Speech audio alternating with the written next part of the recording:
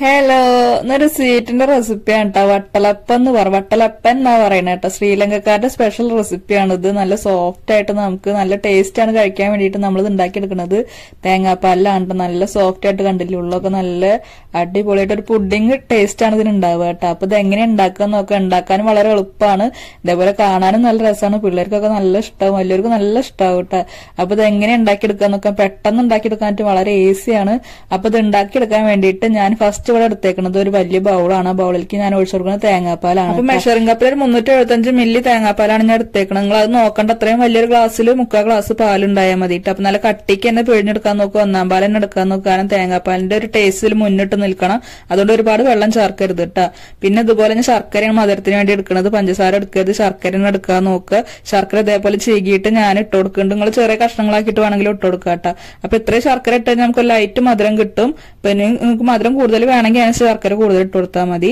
അത് കഴിഞ്ഞിട്ട് ഞാനിത് നന്നായിട്ടൊന്ന് മിക്സ് ചെയ്തെടുക്കുകയാണ്. ഒരു സ്പൂണോ വിസ്കോ വെച്ചിട്ട് നിങ്ങൾക്ക് മിക്സ് ചെയ്യാൻ ഒരു വിസ്ക് വെച്ചിട്ടാണ് മിക്സ് ചെയ്യണത്. വേഗം മിക്സ് ആയി കിട്ടാൻ വേണ്ടിയിട്ടാണ് ചെയ്യുന്നത് സ്പൂൺ വെച്ചിട്ട് നിങ്ങൾക്ക് നന്നായി മിക്സ് ചെയ്തെടുക്കുക കേട്ടോ.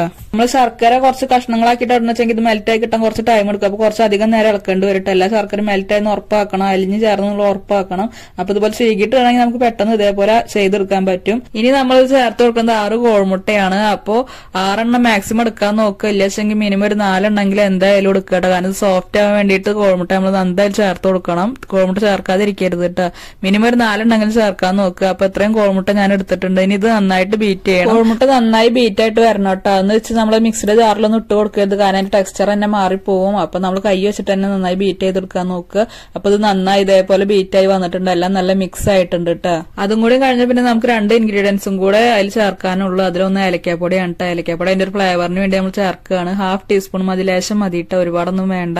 വാൻ എസൻസും കാര്യങ്ങളൊന്നും നമ്മൾ ചേർക്കണില്ല. ഏലക്കാപ്പൊടി മാത്രം മതി. അതിന്റെ ഒരു ഫ്ലേവർ അതിൽ നിൽക്കൂട്ട അപ്പൊ ഏലക്കാപ്പൊടി ഇട്ട് കൊടുത്തിട്ടുണ്ട്. പിന്നെ ഞാനൊരു പിഞ്ച് ഉപ്പാണ് ഇട്ട് കൊടുക്കുന്നത് ഒന്നോ രണ്ടോ നുള്ളു ഉപ്പ് ഇട്ട് കൊടുത്താൽ മതി. നമുക്ക് ശർക്കരയുടെ ഒരു മധുരം ഒന്ന് ബാലൻസ് ചെയ്യാൻ വേണ്ടിയിട്ടാണ് ഇട്ട് കൊടുക്കുന്നത് കേട്ടോ അത് ഒരുപാട് ആവരുത്. കുറച്ച് മാത്രമേ ഇട്ട് കൊടുക്കാൻ പാടുള്ളൂ.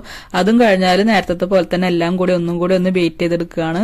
ഇതാണ് ഏകദേശം നമ്മൾ ലാസ്റ്റ് സ്റ്റെപ്പിലേക്ക് ആയി തുടങ്ങിയേക്കുന്നത് കേട്ടോ അപ്പൊ ഇത് നന്നായി ഇതും കൂടി ഒന്ന് ബീറ്റ് ചെയ്ത് കഴിഞ്ഞാൽ നമുക്ക് ഇത് നന്നായിട്ട് നരിച്ചെടുക്കണം അതിന് വേണ്ടിയിട്ട് നമ്മൾ ഇതേപോലെ ഒരു പാത്രം എടുത്താൽ മതി വീട്ടിൽ ഓൾറെഡി ഉള്ള അങ്ങനത്തെ പാത്രങ്ങൾ ഉണ്ടാവില്ലേ? ചായപാത്രമോ കൂട്ടാൻ പാത്രമോ ഒക്കെ ആയിട്ട് ഉണ്ടാവില്ലേ? അങ്ങനത്തെ ഒരു പാത്രത്തേക്കാണ് നമ്മൾ അരിച്ചെടുക്കുന്നത്. അടി കട്ടിലൊരു പാത്രമായാൽ മതി കേട്ടോ അപ്പൊ ഇതിൽ തന്നെയാണ് നമ്മൾ ഇത് കുക്ക് ചെയ്യാൻ പോണത്. അതുകൊണ്ട് ഞാൻ അതിൽ കുറച്ച് എണ്ണ സ്പ്രെഡ് ചെയ്ത് കൊടുക്കുന്നുണ്ട്. സാധാ ഓയിലാണ് സാധാ സൺഫ്ലവർ ഓയിലാണ് ഞാൻ എടുത്തേക്കുന്നത് നിങ്ങൾക്ക് നെയ്യൊക്കെ ചേർക്ക് അങ്ങനെ സ്പ്രെഡ് ചെയ്ത് കൊടുക്കണം ഞാൻ ചെയ്യാട്ടോ. അപ്പൊ സാധാ ഓയിലായാലും മതി. അപ്പൊ ഞാൻ അതിലേക്ക് ഈ ബാറ്റർ ഞാൻ അതിലേക്ക് നന്നായി അരിച്ചെടുക്കുകയാണ്. കണ്ടില്ലേ? അരിച്ചെടുത്തപ്പോ നമുക്ക് ഇത്രയും ആയിരുന്നു കരട് പോലെ നമുക്ക് മാറി കിട്ടിയേക്കാണ്. അതായത് ഏലക്കായുടെ ഒക്കെ ആ ഒരു വേസ്റ്റും കാര്യങ്ങളൊക്കെ അതിൽ വന്നിരിക്കുകയാണ്. അപ്പൊ അത് നമ്മൾ മാറ്റി വെച്ചിട്ട് ഇനി നമ്മൾ ഇത് നന്നായി കുക്ക് ചെയ്തെടുക്കാൻ പോവാണ് കേട്ടോ ഈ ബാറ്റർ ജസ്റ്റ് ഒന്ന് സ്പൂൺ വെച്ച് ആദ്യം ഒന്ന് ഇളക്കി കൊടുത്തിട്ട് ഇനി നമുക്ക് അത് കുക്ക് ചെയ്തെടുക്കാം. ഇതേപോലെ കുഴിയുള്ള ഏത് പാത്രം വേണമെങ്കിലും എടുക്കാട്ടെ. ഞാനിവിടെ ഇളിച്ചമ്പാണ് എടുത്തേക്കണത്. അതിൽ ഞാൻ ഇതേപോലെ സ്റ്റാൻഡ് ഇട്ട് കൊടുക്കുന്നുണ്ട്. എന്തെങ്കിലും തട്ട് വെച്ച് കൊടുത്താലും മതിയിട്ടാ നമ്മൾ അതിൽ ഒഴിച്ചെടുത്ത വെള്ളമൊക്കെ നന്നായി തിളച്ച് വന്നിട്ടുണ്ട് കേട്ടോ അപ്പൊ നമുക്കിനി നമ്മൾ ബാറ്ററി അലക്കി പതുക്കെ ഇറക്കി വെച്ച് കൊടുക്കാം. അത് ശ്രദ്ധിക്കണം. കൈ പൊള്ളരുത് കേട്ടോ പതുക്കെ ഇറക്കി വെച്ചിട്ട് കറക്റ്റ് സ്റ്റാൻഡുമ്പോൾ തന്നെ വെക്കാൻ നോക്കുക. എന്നിട്ട് ഒട്ടും ചൂട് പുറത്തേക്ക് പോകാത്ത രീതിക്കുള്ള ഒരു മൂടി വെച്ചിട്ട് അത് മൂടുക ഇതേപോലെ ഒരു മൂടി വെച്ച് മൂടിയാൽ മതി. ഒട്ടും ചൂട് പുറത്തേക്ക് പോകരുത് അത് കഴിഞ്ഞൊരു മൂടി വെച്ചിട്ട് നമ്മൾ ഈ വലിയ പാത്രം മൂടി വെക്കാണ്ട് ഏത് പാത്രമാണ് നിങ്ങൾ എടുക്കുന്നത് ആ പാത്രം ഇതേപോലെ മൂടി വെക്കുകയാണ്.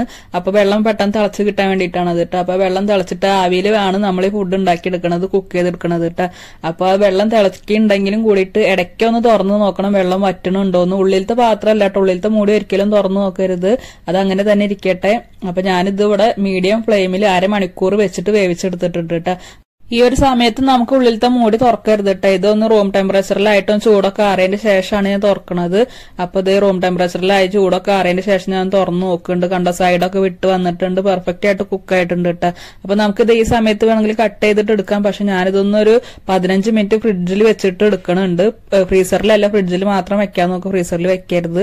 അപ്പൊ ഞാനിതൊരു പതിനഞ്ച് മിനിറ്റ് ഫ്രിഡ്ജിൽ വെച്ചിട്ട് എടുത്തിട്ടുണ്ട് കേട്ടോ അപ്പൊ ഇത് ഏകദേശം ഇത് ഇതേപോലെയാണ് ഇരിക്കുന്നത് ഇനി ഞാനത് ഒരു പ്ലേറ്റ് വെച്ചിട്ട് പ്ലേറ്റിലേക്ക് ഇങ്ങനെ മറിച്ചെടുക്കുക കേട്ടോ. അത് കറക്റ്റ് ആയിട്ട് വന്നോളും. ഒരു കുഴപ്പമില്ല. അടിയിലൊന്നും ഒട്ടി പിടിക്കാണ്ട് തന്നെ വന്നോളൂ കേട്ടോ. അപ്പൊ ഞാനതെല്ലാം അതേപോലെ ക്യൂബ് പോലെ ഒരു ഭംഗിക്ക് വേണ്ടി കട്ട് ചെയ്തെടുത്തിട്ടുണ്ട്. കണ്ടോ? അത്രയും സോഫ്റ്റ് ആണ്. നല്ല സോഫ്റ്റ് ആയിട്ട് കിട്ടും.